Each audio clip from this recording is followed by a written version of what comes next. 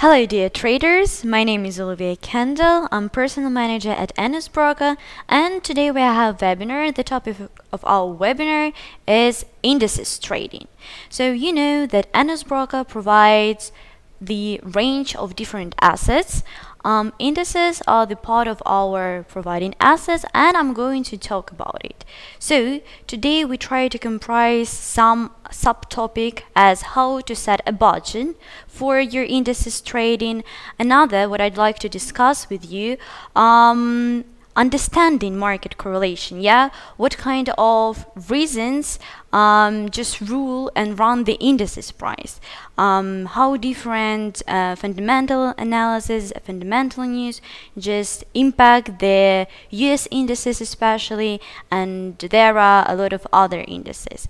So um, let's just switch to our platform as you see, NSBroker provides um, to trade with the S&P 500 as uh, one of the most favorite and uh, famous indices. Yeah, um, US 100, it's Nasdaq, Germany 30, it's a German index, WS 30, the name of it is Dow Jones, Australian, uh, French index, uh, Japanese index, and of course Great Britain index. So all of these assets are available to trade so you may trade with it.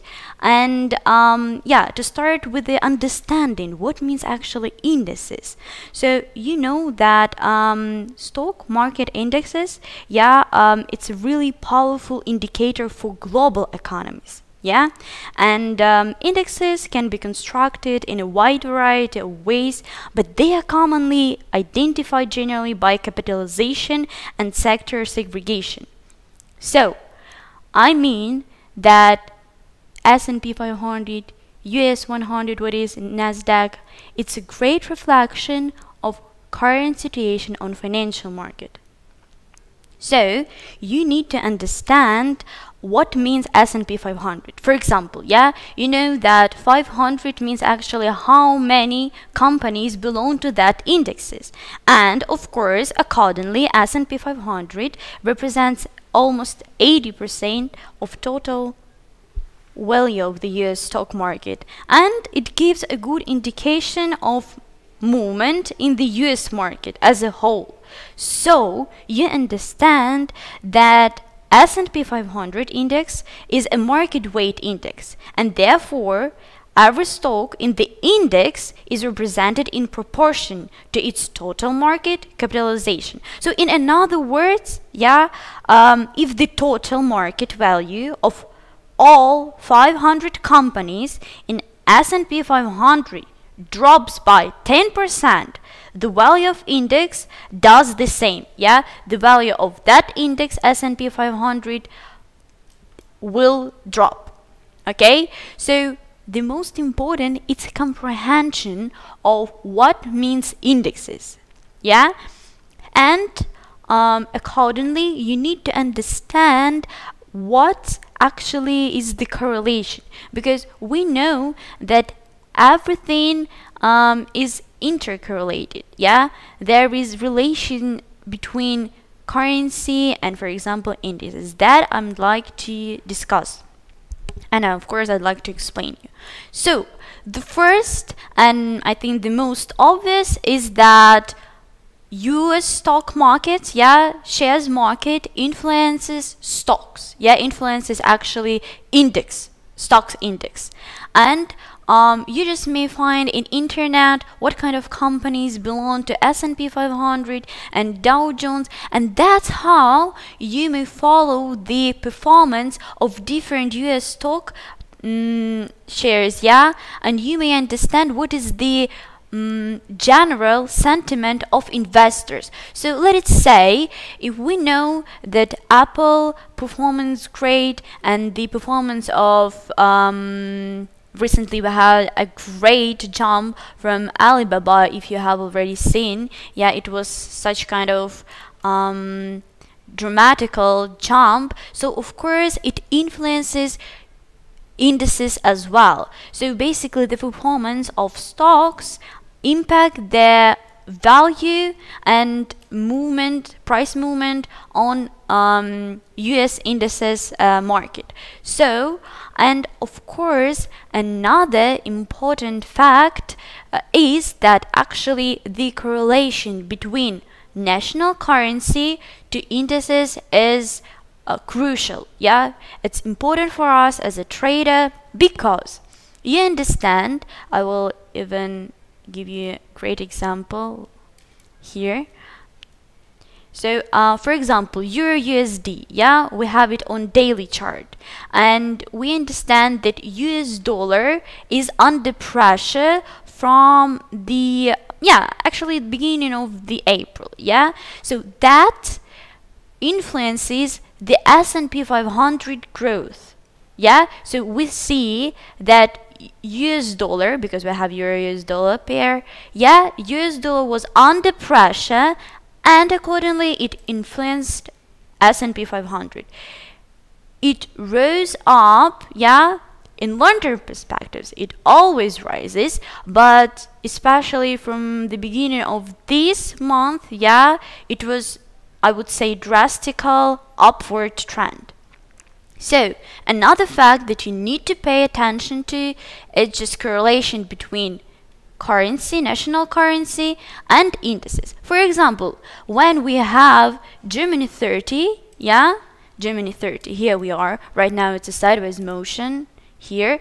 Um, actually, this price decline was because of euro strength, and we see that, yeah. It just visible. It's just visible with the help of chart using. So the most important is how you read the charts.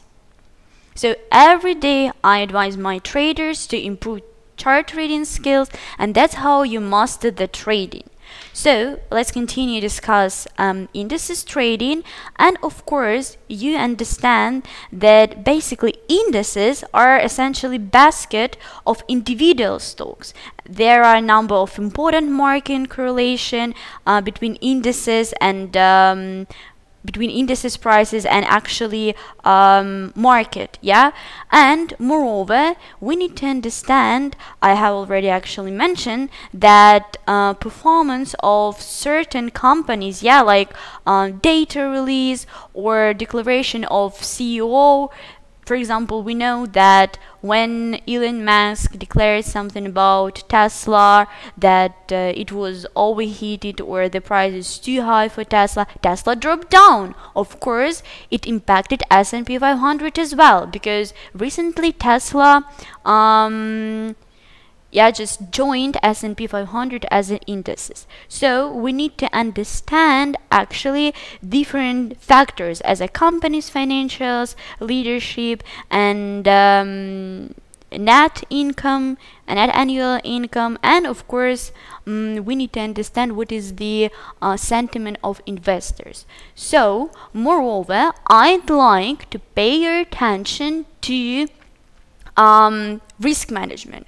Because trading with uh, different indices doesn't matter whether you pick up S&P 500 or Dow Jones or Germany 30 so you need always understand how much you're going to invest to open one position. So um, of course it's not a secret about trading indices but still following risk management you just uh, stay safe and you understand how to um, to manage your management your risk management. So um, S&P 500 pressing on um, right click with the right click we see here specification. And you understand that uh, one lot includes 100 contracts. At the same time mm, Dow Jones, yeah, we have here only one. So one lot equal is equal to uh, one contract. So of course the price the the prices differ from each other. S&P 500 costs 4,139 and Dow Jones almost 34,000. So of course the leverage is the same, but B um be aware of what you're going to purchase with what assets you're going to trade and um, here paying attention to a Japanese stock just pay attention to um, its price. Of course the price is um, in Japanese yen okay?